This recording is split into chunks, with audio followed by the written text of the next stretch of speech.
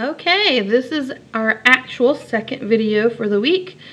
Um, this would be our second class day if we were face to face, so here we go. I'm going to just tell you that um, what we're going to talk about here is some, I'm going to give you some words and, and stuff, some definitions, so to speak, out of the book. And hopefully you have read chapter one and the introduction in the book by now. And I'm just going to make sure that we're all kind of on the same page. We all have a little bit of note taking going on so that you don't feel like you're completely out there by yourself. And I'm going to tell you um, a few things. So the first thing I've got here, this is a hundreds board.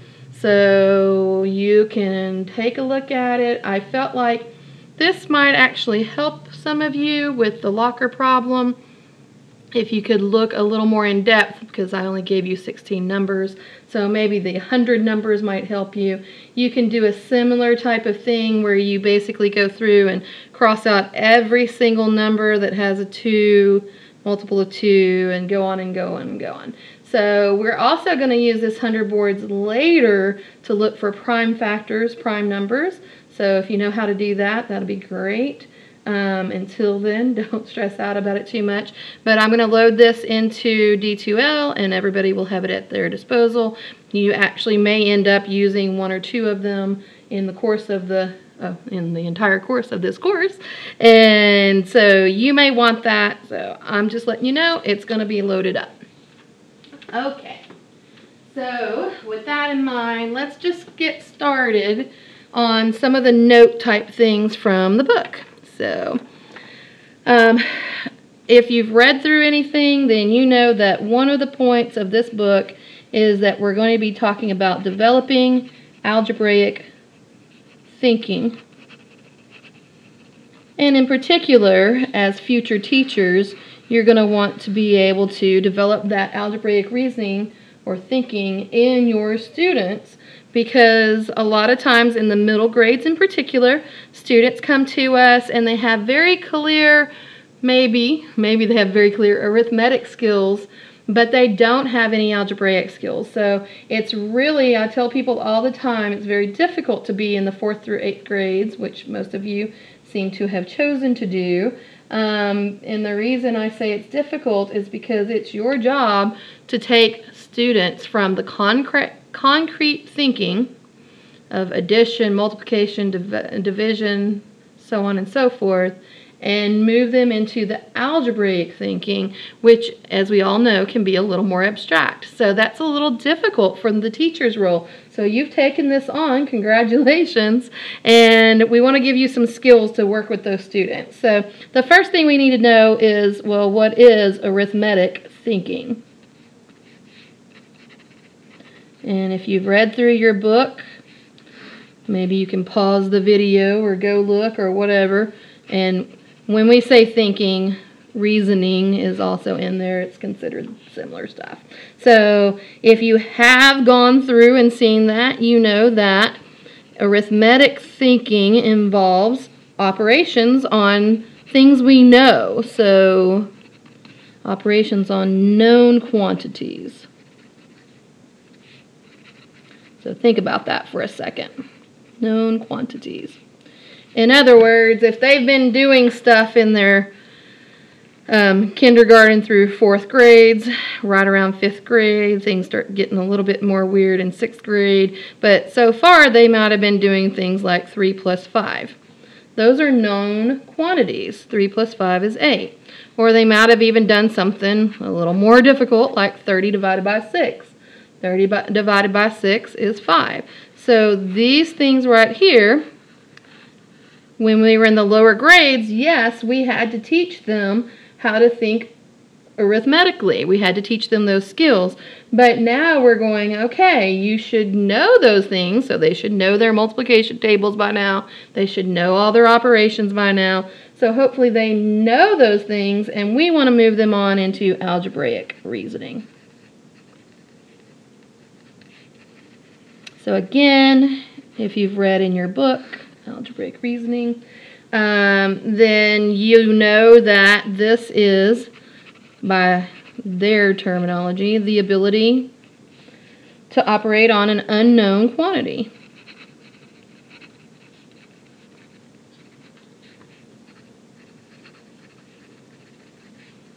Unknown quantity. Okay, um, as if it were known. So in other words, whenever we do these lovely things, like we say, oh, we're going to multiply 7 times x. Well, what you're telling me is that even though you don't know what x represents, you think you can multiply it by 7. So that means if I come along and I say, okay, let x equals 3, then you can tell me then 7x equals 21, right? So you feel like you can do the regular known operations, 7 times 3 is 21, on things that are unknown, which is what a variable is. So we start making them think a little more abstractly. We bring the alphabet into their math world, and that is usually when things start going a little bit haywire. So we have to kind of watch out for that. So. All right, those are two basic definitions. There's other stuff out there, other definitions, but those are kind of the basic ones that we want to think about. All right, so what does that include? According to your book, it includes some very specific things. So let me um, get you some information. This can include, da, da, da, includes um, being able to think about functions and how they work.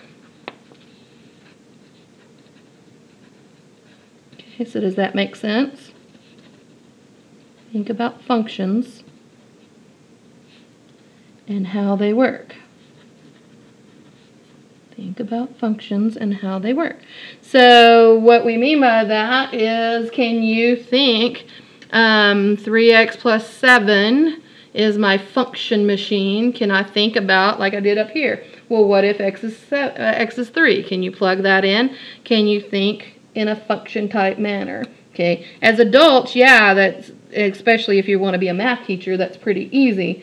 But as a student, and this is the first time you've seen, oh my gosh, you want me to substitute what in for that x? It can be a little daunting, so you have to be aware of that. Okay, and being able to think about the impact a system structure has on calculations. So being able to think about the impact a system structure has on calculations. In my math history class, I like to bring this about in a way um, dealing with, for instance, base 10. So our base 10's system structure um, has a lot to do with the way we do stuff, right? So adding and subtracting and being able to just have, um, you know, counting on your 10 fingers and 10 toes and things like that. And all that is a base 10. If you've ever looked at the Babylonians, they had a base 60 system. And the way they did things and did their calculations is pretty much completely different than the way we do. So knowing what system you're in, knowing what their structure looks like, that can really make a difference in the math that we're doing. So being aware of that. Okay, some common tools. Common tools in algebra. And again, as adults, we kind of just take these things for granted. We know we're doing them. I'm going to scoot this on up. Hopefully everybody's finished with that last page. We know we're doing them as adults and we just kind of take it for granted, but kids, they can be very, um, you know, overwhelmed by stuff. So the first one, I mentioned it in the other video, is the doing and undoing. And that has to do with reversibility hope I spelled that right. Reversibility. okay. So, and the way we often think, think about that is um, opposite operations. So, for instance, in math, if we see something like x plus 3 and we want to undo that addition that is sitting right there, what would we do? Of course, we would subtract 3. So we would undo the addition property there by the addition operation there by subtracting because we know that addition and subtraction are opposite operations. So that means that x plus 3, that quantity that is sitting there is reversible. Again, this is kind of just a foundational thing we know happens all the time. It's in there, and uh, we just assume that people know how to do that. And sometimes we have to teach that. Okay, a lot of times it's more difficult to understand the process well enough to work it backwards. Um, so something that's easy, so to speak, for us, but maybe not be for students. An example um, if I said solve 4x squared minus 9 equals 0, let's just do an example, then what's the opposite operation for getting rid of that 9 there? It's a subtraction, so I would add 9, both sides of the equation. Okay, so now I have 4x squared equals 9, so now what would we do? Again, we're trying to get the x completely by itself. It is x squared being multiplied by 4 there. So to get rid of the 4, we would divide because multiplication and division are opposite operations, and that would get rid of that. And then I'd be saying, okay, well now I've got x squared equals 9 divided by 4. And now what? Oh my gosh, I've got to get rid of a square operation, a squaring operation. So how can I get rid of the squaring operation? And the answer is, of course, we know the opposite operation is square root. So I can square root both sides of my equation. So now I've got x equals, and just to be on the safe side of things, I'm going to throw in my plus or minus.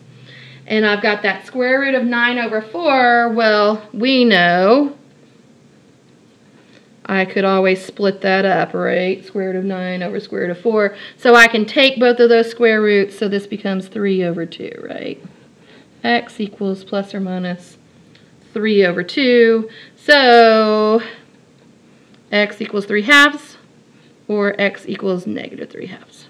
Those are my answers, right?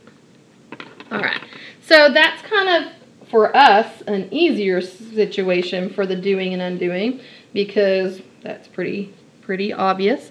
But a harder example would be, hey, I'm going to tell you the solutions, and I want you to tell me what is an equation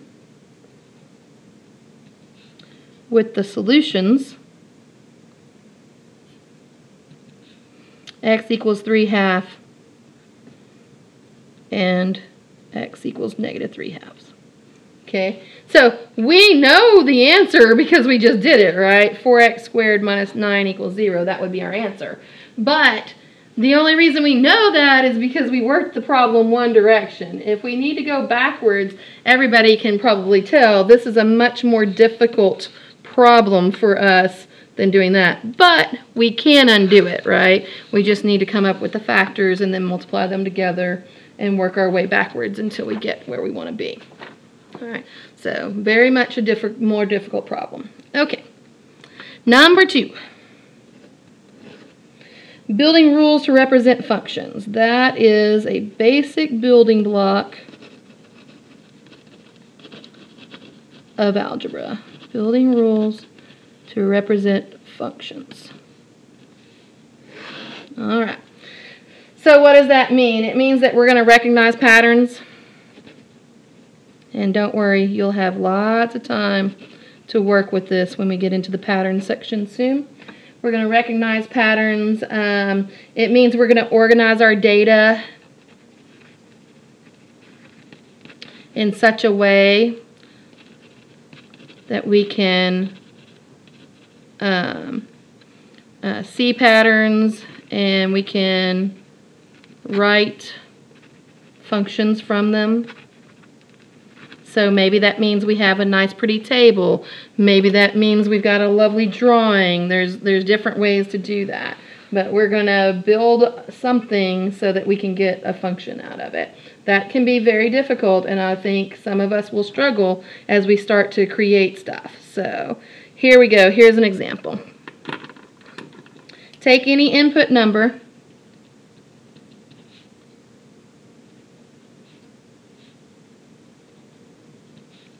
use an input number, um, multiply it by 5, and subtract 4. Well, I basically just wrote the rule in words for you, right? So we've, we've got the rule kind of written out there. So what's one way that you can represent that pattern that I just gave you? Hopefully you said, take my number, multiply it by 5. That means I'm going to have what? 5x. And then I'm going to subtract from this entire quantity 4. So 5x minus 4, that would be my function, right? So now I have something that I can put in there. So there we go. There's lots of things, and if you kind of read through your book, you've got lots of stuff you can look at. Um, sometimes you might see this drawn like a star, the multiple representations and such that work here. So normally we have an algebraic formula, and that would be our kind of ultimate goal. Sometimes we want to use a pattern or whatever to get there. Sometimes, like I mentioned, you might need a table to get there. Sometimes somebody might give you a verbal description. And sometimes you might have something more concrete like the manipulatives or a picture. Okay, that gives me some kind of a representation for it. And sometimes I might have a graph, so it depends on kind of how algebraic we're getting, right? But those are kind of the biggest ways that are normally used to represent a problem algebraically. So these, whenever you see the words um, on some of your state exams that say, okay, multiple representations, that's what these are. Multiple representations. Different ways to show the algebra that we're looking at. So some kind of problem and we're talking about it algebraically. That's what we're after. All right, the third way, the third building block, so to speak, of algebraic reasoning is abstracting through computation or from computation. Okay, and this is a skill I mentioned a minute ago. We're going to spend some time developing this skill. Some people are really, really good at it and they can just kind of see a pattern and just develop their abstract thoughts, and some people really struggle with this. Like, how do I know that something is um, linear or quadratic just by looking at a table of values? How do I know that? Don't worry, we're going to get some examples and we're going to actually do some work with it, so you'll be okay. So, what we want to do is we want to think think about our computations.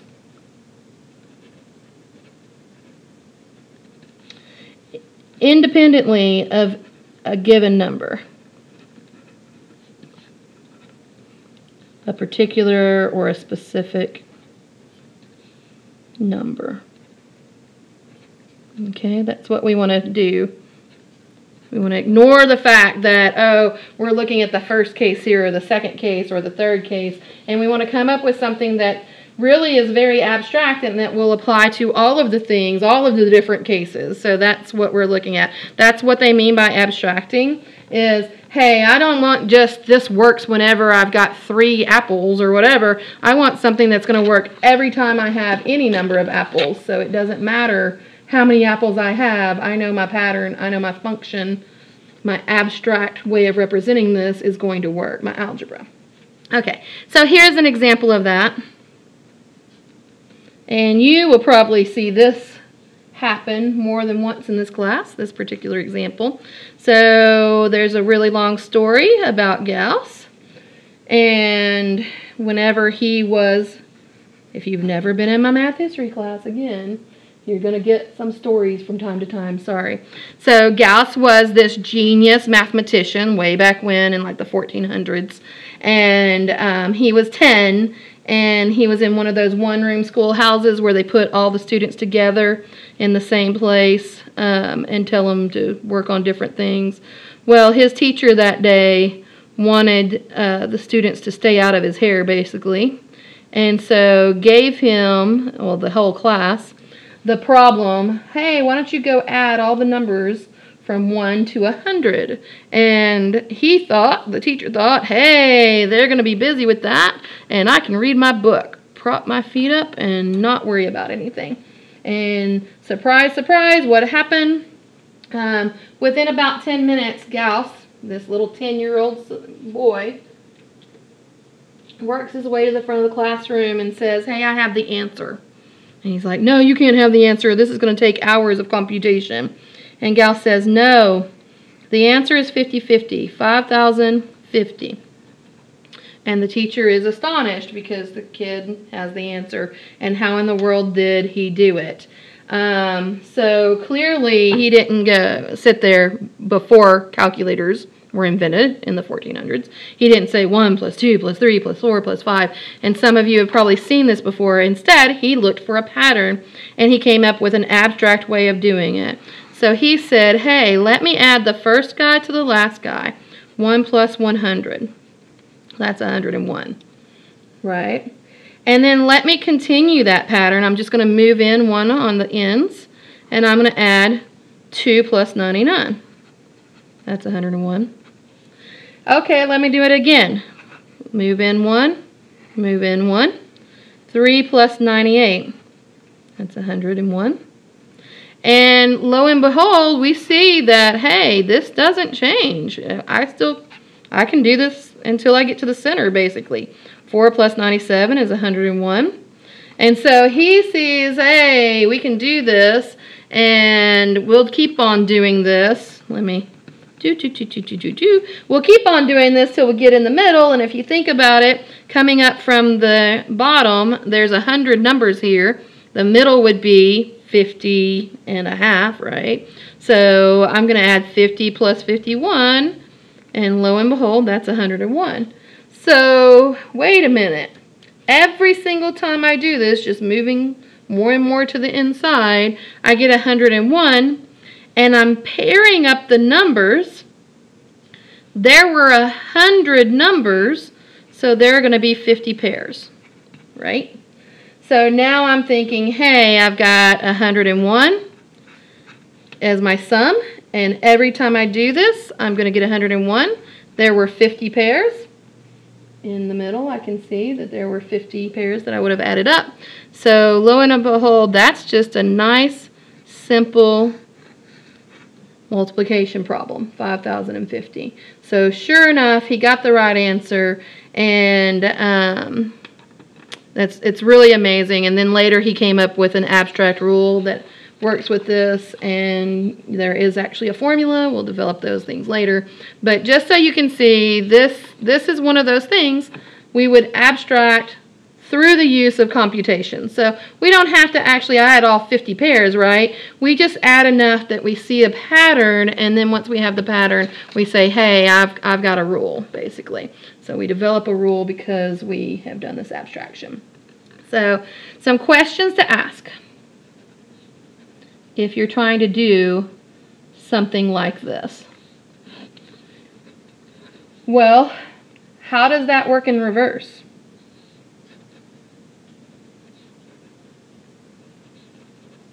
Anytime you're thinking algebraically and you think you have some kind of a rule or some kind of a function or whatever, think to yourself, how would that work in reverse?